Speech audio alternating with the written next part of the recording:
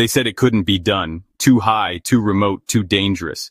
But China's building a high-speed rail across the Himalayas, and it's headed straight for Tibet. And if you're sitting in New Delhi right now, that should make you very, very nervous. And no, not because of the ridiculous amounts of smog, pollution, and cow fumes that you're breathing in. See, this isn't just another shiny train project. This is one of the most ambitious infrastructure feats in human history, and it's happening right in one of the most geopolitically sensitive regions on Earth. But let's dive right into it. China's building a high-speed rail line that connects Chengdu, the capital of Sichuan province, to Lhasa, the capital of Tibet. When it's finished, this route will stretch over 1,400 kilometers, most of it through some of the most extreme terrain on the planet. Think snowy peaks, deep gorges, earthquake zones, and oxygen-starved altitudes where even helicopters struggle to fly. And China isn't just making a small dent in the mountains here. They're drilling, blasting, and tunneling their way through some of the most unforgiving geography known to man. This isn't the flat plains where you throw down a few tracks and call it a day. Over 70% of the route consists of bridges and tunnels. Let that sink in more than two-thirds of this railway will either be slicing through rock or soaring above ravines. Now, what's the price tag? Try 320 billion yuan. That's around 44 billion US dollars. It's one of the most expensive rail projects in history, and it's being fast-tracked. Pun intended, of course. China aims to complete this mega project by 2030, with some sections already operational. This isn't the first time China has defied the odds with infrastructure in Tibet. Back in 2006, it shocked the world by completing the Qinghai-Tibet Railway, the highest railway on Earth. Critics said it was impossible. China proved them wrong. But this new line? It's even harder. It's truly next level. We're talking about building rail that zips along at over 160 kilometers per hour in terrain that gives seasoned mountain climbers headaches. And why is China doing this? Sure, there's the economic angle. Tibet is rich in minerals, hydropower potential, and tourism opportunities. They just started construction of the world's largest dam in Tibet, and linking this region better with the rest of China means more development, more jobs, more integration. But let's not pretend this is just about boosting tourism or shaving a few hours off delivery times. This railway has a very clear strategic goal. If and when it's completed, China will be able to transport troops and supplies from Sichuan to the Tibetan plateau in a matter of hours. That's a game changer. Right now, moving military personnel into Tibet takes days. Convoys slog it out on winding mountain roads. Logistics are a nightmare. But with this rail line, entire divisions could be mobilized in the blink of an eye. And this is exactly why India is sweating, because this isn't just any old border. This is the line of actual control the tense, ill-defined frontier between China and India that runs through Ladakh, Arunachal Pradesh, and the Tibetan Plateau. These two nuclear powers have clashed here repeatedly. The most recent flashpoint, Ladakh, 2020. Chinese and Indian troops got into a brutal hand-to-hand skirmish in the Galwan Valley. No guns, just fists, rocks, and nail-studded clubs. At least 20 Indian soldiers died. China also suffered casualties, though the exact number remains classified. Most international sources agree, however, that China came off better, probably because its soldiers aren't malnutritioned and live on a varied and healthy diet, as opposed to eating the same old curry every day. Let's not forget the Kargil War in 1999, where India and Pakistan traded blows over similar high-altitude terrain just next door. The entire Himalayan arc is a powder keg, and China's building a high-speed supply line right through it. And who could forget the infamous 1962 Sino-Indian War, where Chinese forces stormed into Aksai Chin, crushed the Indian army, and made them retreat, all in one month. So from Beijing's point of view, this project serves three main purposes.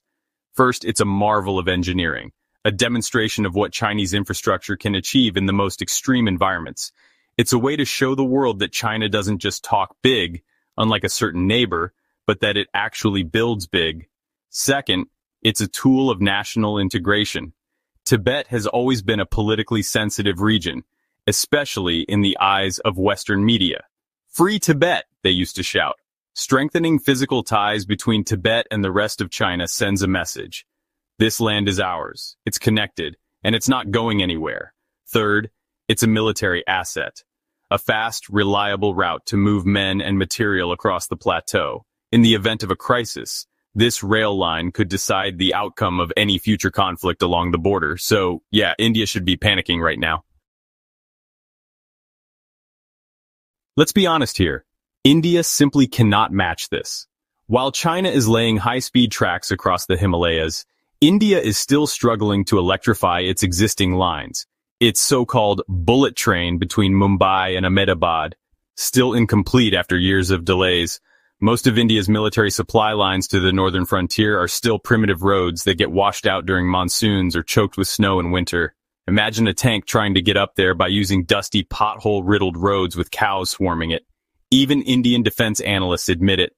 China's infrastructure advantage is huge, and this railway makes it even bigger.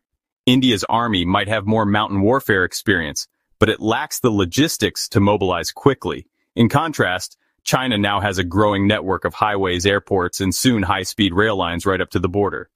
And that's terrifying for India's generals. It's not just about trains, it's about time. In war, time is everything. Who can reinforce faster? Who can supply longer? Who can shift troops where they're needed most at a moment's notice? China is betting that this rail line will give it the edge. Let's also talk about symbolism. The Tibetan Plateau is often called the roof of the world. It's the source of Asia's major rivers, the Yangtze, the Mekong, the Brahmaputra, the Indus. Whoever controls this region controls the water taps of nearly 2 billion people. By tightening its grip on Tibet, China isn't just securing its own backyard.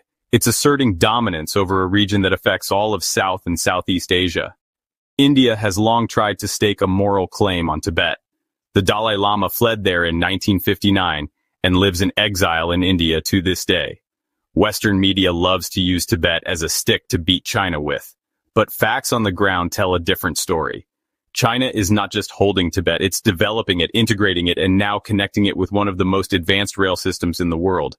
India, on the other hand, is still clinging to nostalgia and hand-wringing. While China's building bridges, India's building excuses. And let's not forget the wider implications. This rail line is just one piece of a much larger picture. China is already pushing its Belt and Road Initiative through Central Asia, building ports in the Indian Ocean, and investing in countries that used to sit firmly in India's sphere of influence, Nepal, Sri Lanka, the Maldives. In short, China is surrounding India with concrete and steel. While Indian politicians are busy giving speeches and waving flags, China is laying the groundwork for real lasting influence. Literally. This isn't just about a train, it's about power. Power to move, power to respond, power to dominate. And while the West fixates on headlines about China's economy slowing down, or its property sector wobbling, Beijing continues to build the future, one rail line at a time.